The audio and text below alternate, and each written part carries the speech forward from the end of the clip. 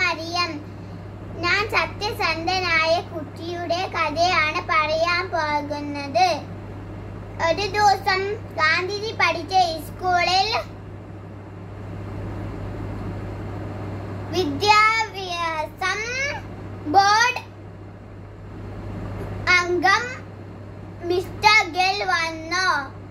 എല്ലാ കുട്ടികളോടും പറഞ്ഞു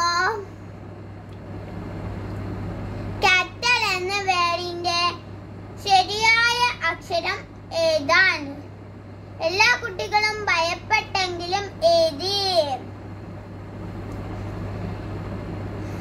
ക്ലാസ് മാസ്റ്ററോട് പറഞ്ഞു എല്ലാ കുട്ടികളുടെയും സ്ലൈഡ് കളക്ട് ചെയ്ത് കൊണ്ടുവരാൻ എന്നിടമാണ് ക്ലാസ് മാസ്റ്റർ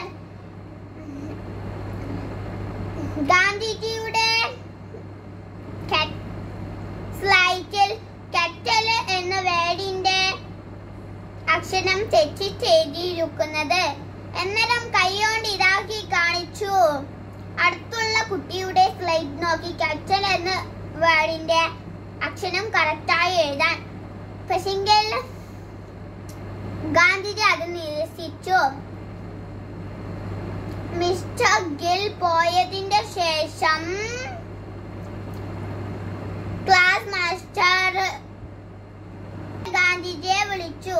ഞാൻ കൈയോണ്ടി ആക്കിയിട്ടും നീ എന്തുകൊണ്ടാണ് അടുത്തുള്ള കുട്ടിയുടെ സ്ലൈറ്റ് നോക്കി. കെറ്റൽ എന്ന വേർഡിന്റെ കറക്റ്റ് ആൻസർ കറക്റ്റ് അക്ഷരം എഴുതാണ്ടിരുന്നത്. ഞാനത് കണ്ടിരുന്നു. പക്ഷെങ്കിൽ എനിക്ക് മറ്റു കുട്ടികളുടെ സ്ലൈറ്റ് നോക്കി എഴുതാൻ ഇഷ്ടമല്ല.